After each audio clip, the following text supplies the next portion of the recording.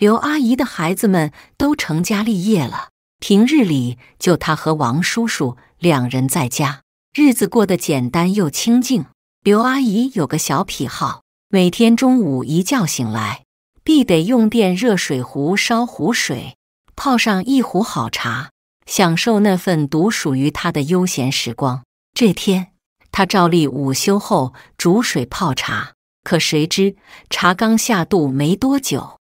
胃里就像翻江倒海似的，十分难受。正巧王叔叔和隔壁的刘大叔散步回来，一进门就见刘阿姨脸色白得像纸，眉头紧锁，一脸痛苦。刘大叔眼尖，一眼就瞄到了桌上的电热水壶，急忙问：“你是不是用电热水壶烧的水泡茶了？”我最近在网上瞅见。说这种水壶烧的水可能致癌，连世卫组织都不推荐用了呢。这话一出，刘阿姨心里咯噔一声，难不成自己这不舒服还真是电热水壶惹的祸？虽然心里半信半疑，但想着身体健康不是小事，刘阿姨还是决定先暂时把那个电热水壶打入冷宫。换种方式烧水泡茶，毕竟身体才是革命的本钱嘛。电热水壶作为很多家庭的必备品，方便快捷，但网络上关于其可能致癌的传言却让很多人忧心忡忡。那么，电热水壶烧水真的对身体有害，还致癌吗？一，电热水壶烧水可能致癌。锰是人体必需的微量元素，对骨骼和神经系统至关重要。然而，过量摄入锰确实可能对人体造成伤害。传言称，电热水壶在加热的过程中会析出锰元素，长期喝这种含有锰元素的水，可能会导致人体内锰元素超标，进而损伤神经，诱发癌症。然而，科学研究表明，电热水壶中的锰元素通常以非活跃的状态存在。这意味着，在平常的烧水过程中，锰元素很难从壶体材质中析出。即使在极端的条件下，比如连续煮沸超过一千小时，析出的锰元素数量也是微乎其微，远远达不到对人体产生影响的程度。因此，从科学角度来看，喝电热水壶烧的水是安全的。此外，我们还需要注意到，锰元素的摄入并不仅仅来源于饮用水。实际上，很多食物中都含有锰元素，比如坚果、谷物、茶叶等。因此，即使电热水壶中真的析出了少量的锰元素，其对人体健康的影响也是微乎其微的。二、如何挑选电热水壶？不锈钢电热水壶在选择不锈钢电热水壶时，应该优先考虑那些标注有食品接触用或符合执行标准 GB 九千六百八十四杠两千零一十一的产品。这些标识说明水壶的材质安全，符合国家对食品接触材料的严格要求。陶瓷电热水壶。陶瓷电热水壶以其独特的外观和保温性能受到很多人的喜爱。然而，在购买时应该避免选择内壁有彩绘的产品，因为彩绘中可能含有铅、镉等有害物质，在高温下容易析出。玻璃电热水壶，玻璃电热水壶以其透明、易清洁的特点，也受到了一些人的青睐。在选择玻璃电热水壶时，建议选择高硼硅玻璃制造的水壶。这种材质具有更好的热稳定性和抗冲击性，即使在水壶破裂的情况下，也不会产生对人体有害的碎片。三、关于使用电热水壶烧水的健康误区：一、电热水壶的水不能反复加热，亚硝酸盐含量高。实际上，即使是多次烧开的水，其亚硝酸盐含量也非常低。远低于国家饮用水的标准。亚硝酸盐是一种潜在的致癌物质，但只有在大量摄入的情况下，才可能对人体健康造成危害。因此，电热水壶中的水即使多次烧开，也是安全的。二、电热水壶有水垢，烧出来的水会影响健康。长期使用的电热水壶会在底部积累水垢。但水垢主要由碳酸盐类矿物质构成，比如镁离子和钙离子。这些物质在进入人体后，通常会被分解，或者随着代谢过程排出体外，并不会对健康造成负面影响。如果水垢过多，可能会影响电热水壶的加热效率和使用寿命，因此建议定期清洗电热水壶。三。电热水壶烧水会导致水中的氧气减少，影响水的质量。水中的氧气含量与烧水方式无关，主要与水源和水质有关。因此，在选择饮用水时，我们更应该关注水源和水质的安全性。四、对身体有害的三种水一定要避开：一、生水。没有经过处理的生水中，可能含有虫卵、细菌，甚至氯气等有害物质。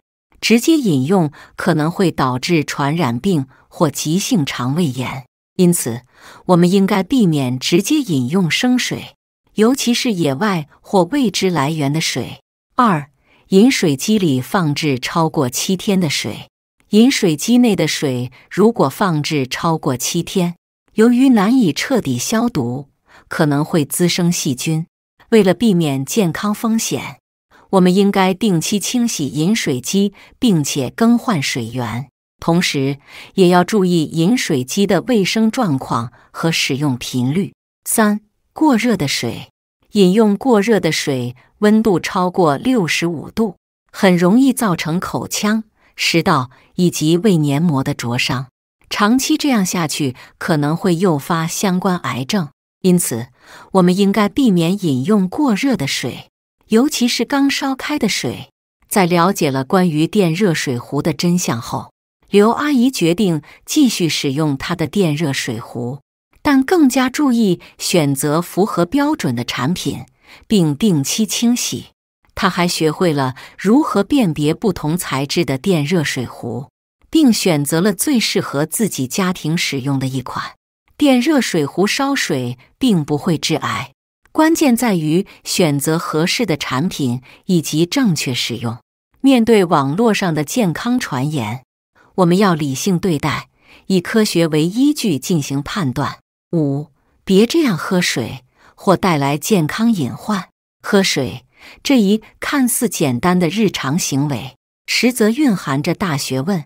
正确的饮水习惯对维持身体健康至关重要，而不良的饮水习惯却可能在不经意间侵蚀我们的健康。首当其冲的坏习惯就是很多人都会等到口渴时才喝水，但这恰恰就是一种不良信号，因为当身体发出口渴信号时，其实处于轻度脱水的状态了。所以，我们要养成喝水的习惯。第二个习惯就是要么不喝水，要么就疯狂饮水。很多人不知道，短时间内大量饮水可能会使体内电解质平衡紊乱，尤其是钠离子的浓度降低，严重时可能导致水中毒。最后便是当代年轻人都有的一个坏习惯，就是用饮料代替水。这么做会导致身体摄入过多糖分与其他添加剂，增加健康风险，如肥胖、糖尿病等。为了保持健康，建议养成定时定量饮用清洁水源的饮水习惯，并尽量避免用饮料代替水。同时，根据个人情况，如一天的活动量或个人体重来等，适当调整饮水量。六，世卫组织呼吁停止使用电饭煲，或诱发肝癌。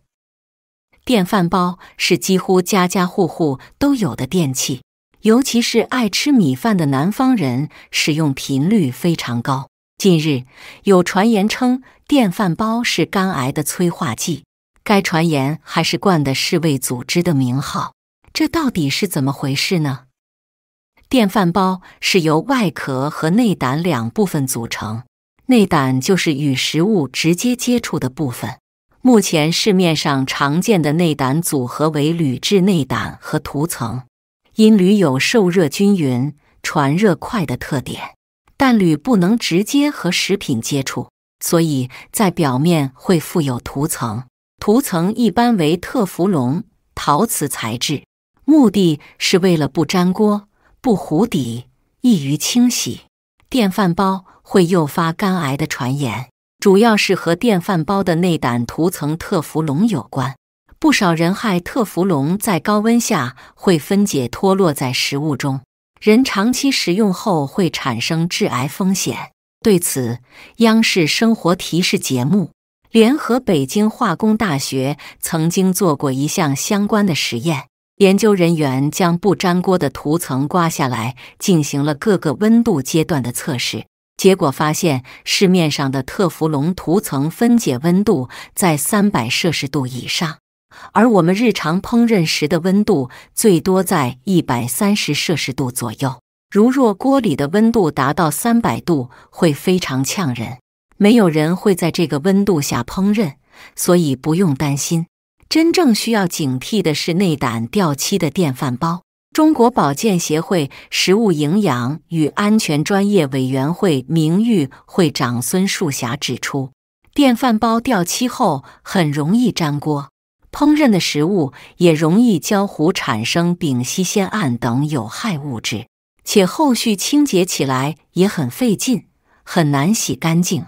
如果涂层脱落到一定程度，相当于内胆变成了铝制的，用其烹饪食物会导致身体摄入过量铝元素，威胁健康。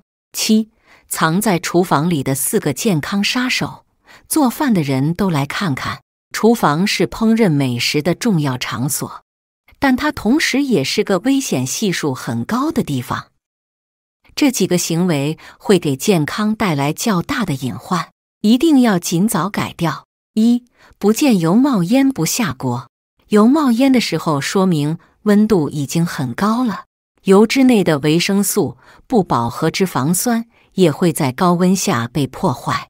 此时下锅食物容易让食物内的营养成分发生变化，且会产生多环芳烃、丙烯酰胺等有害物质，增加身体的滑腻发消息。二、做饭不开抽油烟机，厨房油烟内有多环芳烃、丙烯醛、亚硝酸胺以及二硝基苯酚等致癌物，长期烹饪的时候不开抽油烟机，直接吸入油烟。会给呼吸道、肺部带来不良刺激，增加癌症的发生风险。建议烹饪时开抽油烟机要早开晚关，烹饪结束后让它再开一会，吸掉残余的油烟。三、抹布反复用不更换，抹布内很可能会有大肠杆菌、沙门氏菌、葡萄球菌等病原体。在与食物接触后，会导致食物也发感染。人食用了被污染的食物，容易导致食物中毒。日常一定要定期清洁、更换麻木，一至二周就要换一块新的。四、砧板、筷子长期不更换，使用了两年以上的砧板菌落总数、霉菌以及大肠菌群的数量会明显增加。尤其是一些带有凹槽的砧板，更容易有食物残留。建议厨房内的砧板每年更换一次，筷子要每周消毒一次。竹木筷子建议半年更换一次。